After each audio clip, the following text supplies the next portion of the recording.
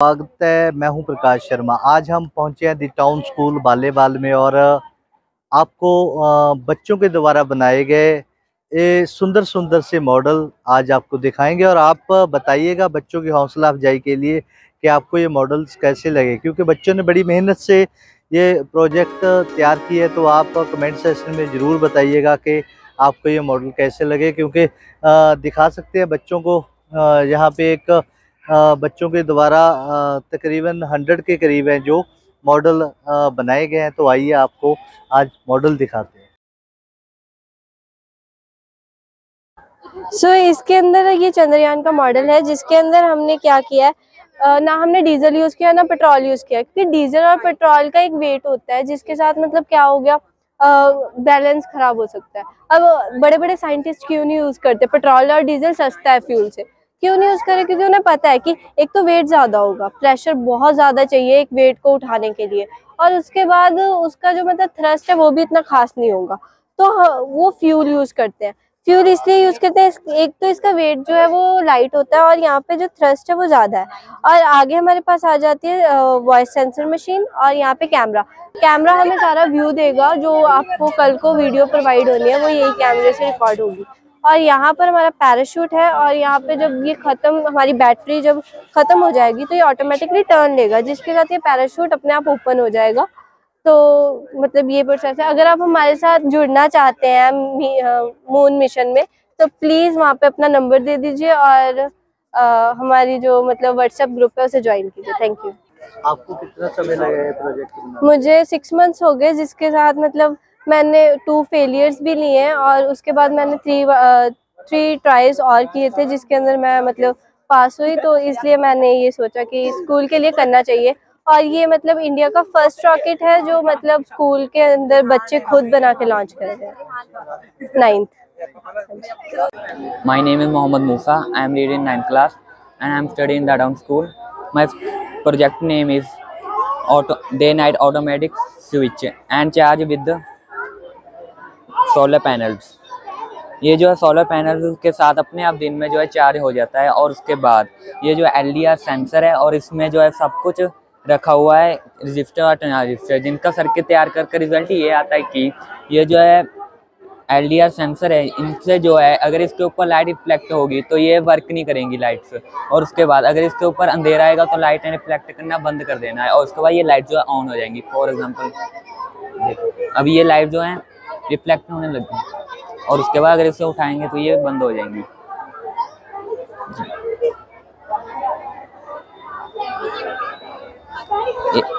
रात को जो अपने आप चल जाएँगी, दिन में जो अपने आप बंद हो जाएँगे। और उसके बाद इसमें जो है सर, दिन में सोलर पैनल से अपने आप चार्ज भी हो जाएँगी ये। जी। Naseem Akhtar from class plus medical sir ये एक आर्किटेक्चरल स्ट्रक्चर है, इसे टेंसिग्रिटी स्ट्रक्चर कहते हैं।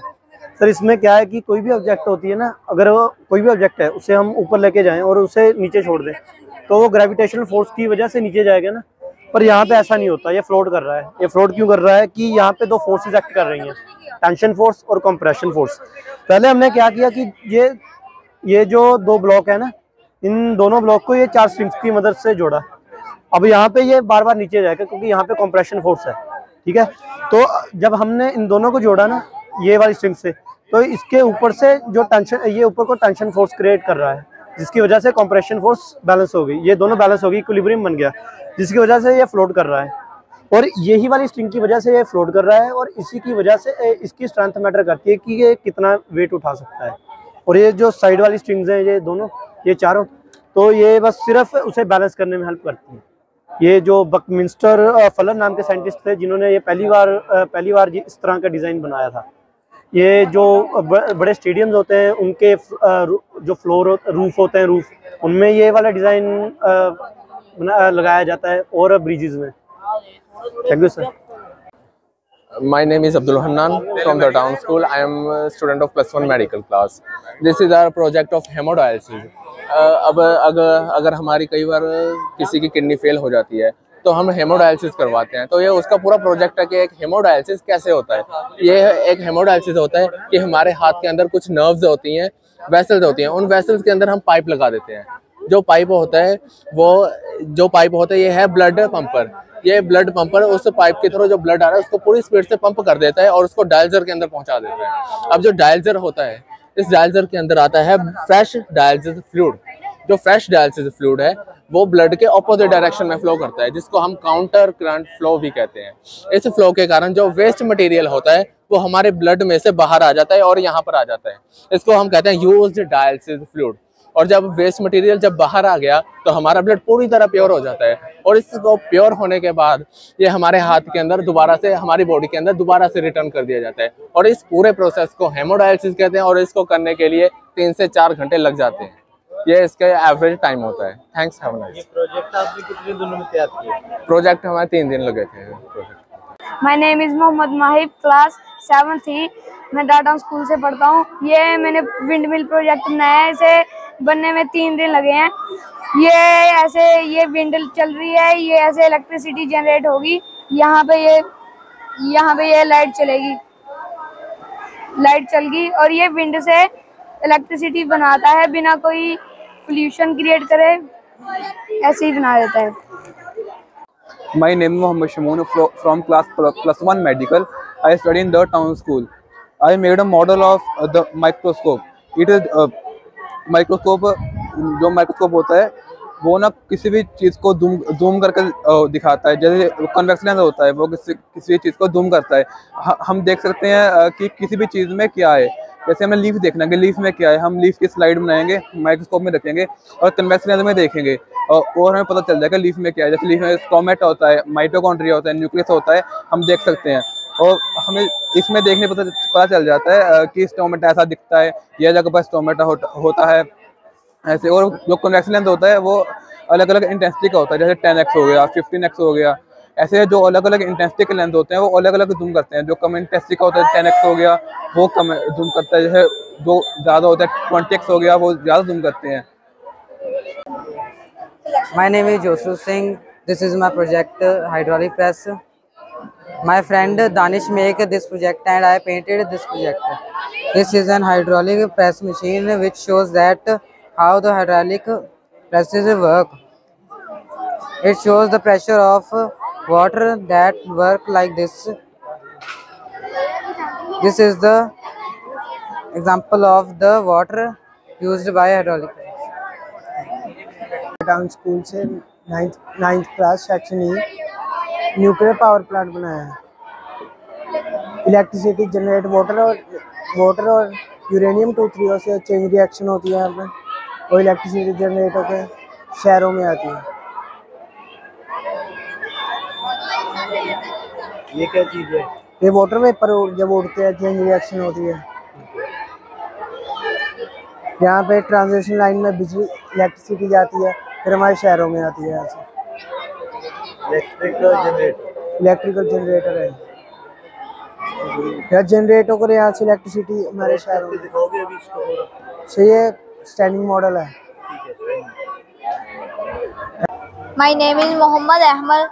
Today my model is today my model is digestive system, human digestive system. When the food enters in our body, in our mouth, the food go to in the food pipe or esophagus.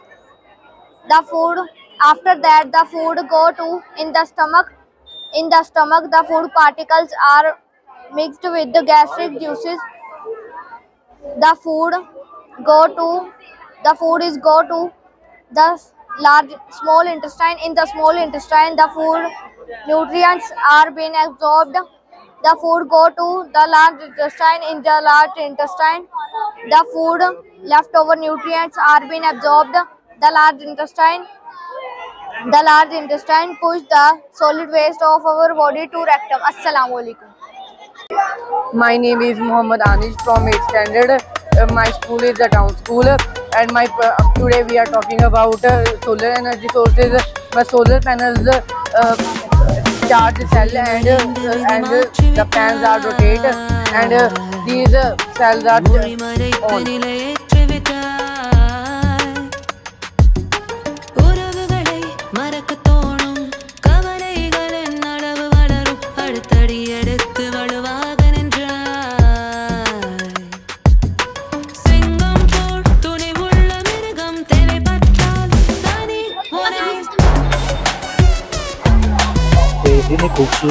Models ਜੋ ਕਿ ਕਾਫੀ ਬੱਚਿਆਂ ਦੇ ਵੱਲੋਂ ਬਣਵਾਏ ਗਏ ਨੇ ਤੇ ਤੇ ਦੇਖ ਸਕਦੇ ਹੋ ਕਿ ਬੱਚਿਆਂ ਨੇ ਬੜੀ ਮਿਹਨਤ ਦੇ ਨਾਲ ਨੇ ਜਿਹੜੇ ਇਹ ਮਾਡਲ ਤਿਆਰ ਕੀਤੇ ਨੇ ਤੇ ਤੁਸੀਂ ਬੱਚਿਆਂ ਦੀ ਹੌਸਲਾ ਅਫਜ਼ਾਈ ਦੇ ਲਈ ਕਿੰਨੇ ਨੰਬਰ ਦੋਗੇ ਤੇ ਉਸ ਮੈਸੇਜ ਮੇਰੇ ਦੱਸਣਾ